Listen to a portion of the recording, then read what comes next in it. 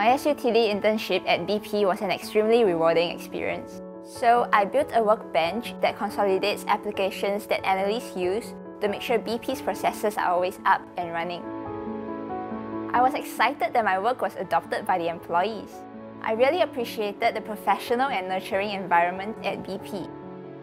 My colleagues were very supportive and showed me the ropes. Something I really enjoyed was the opportunity to interact with people from other parts of the organization and find out about their roles in the trading business. This allowed me to better understand the business and how a multinational corporation runs globally. There were plenty of interesting activities such as workshops, celebrations, and screenings of World Cup matches which marked a fun and enriching internship at BP.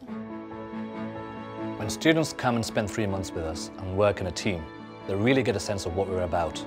We put our interns on real projects, we give them real problems, and they work with real end users. We expect them to make a real impact.